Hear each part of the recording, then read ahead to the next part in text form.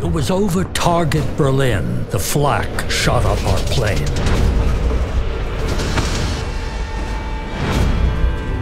Being hit, we had to drop out of formation right away, losing speed and altitude.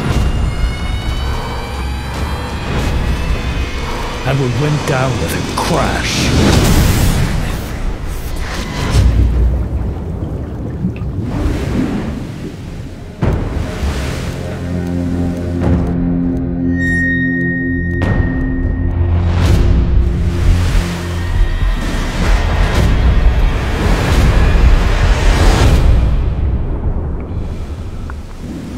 I made up my mind to survive.